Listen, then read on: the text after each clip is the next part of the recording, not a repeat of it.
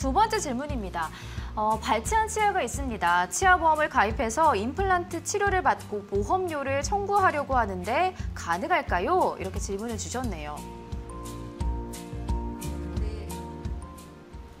어, 네. 이번에는 이정희 선생님께 질문을 한번 드려보도록 하겠습니다.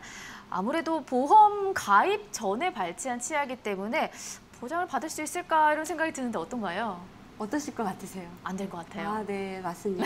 네. 아쉽네요. 아, 네. 예, 왜 그런지 알려드리겠습니다. 치아는 치아마다 이렇게 옆에 표와, 표와 함께 보시면, 예, 예, 치아 정중앙에서부터 1번, 2번, 3번, 1번, 2번, 3번, 에서 7번까지 28개 치아에 치아 번호가 다 있으세요. 네. 예, 그래서 어, 뭐 사랑니를 참고적으로 말씀드리면 8번 치아거든요. 예.